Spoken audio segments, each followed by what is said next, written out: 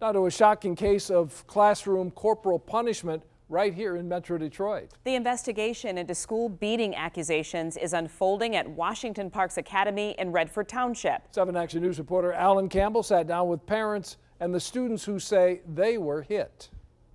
The parents of these children say this kind of behavior is inappropriate, especially from a teacher in the classroom who's supposed to be educating their kids.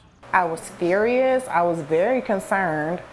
Um, my daughter called me crying hysterically.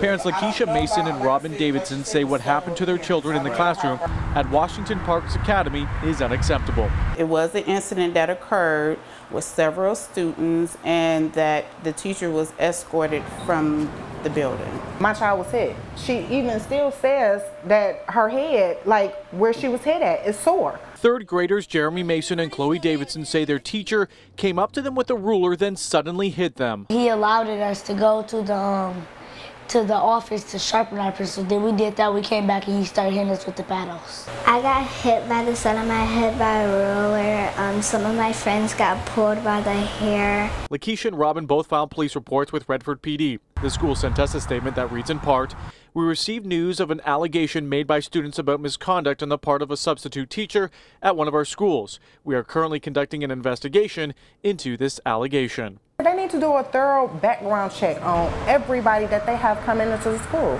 Lakeisha and Robin say their children need to be nurtured in school and not shown any type of violence or physical abuse. You can't just go around paddling kids because they didn't do something that they were supposed to do. If I don't feel safe with him around my child, I don't feel safe with him around nobody kid. Too much, too much is happening out here already. Both parents say the next step is to hire a lawyer and press charges. Reporting in Redford, I'm Alan Campbell, 7 Action News.